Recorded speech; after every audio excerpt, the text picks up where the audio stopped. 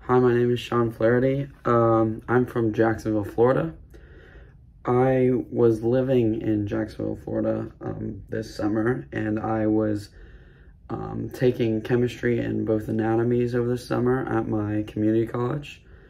Um, I am in the public health major on the pre-PA track for UF, um, obviously.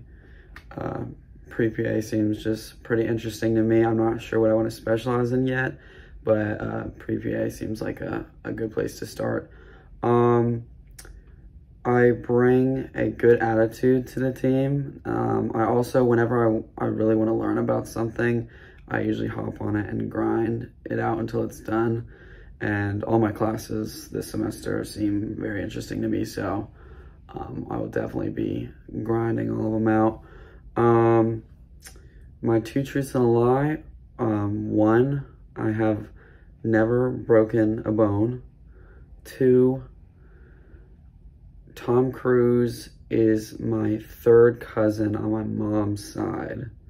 And three, I have never been on a plane before.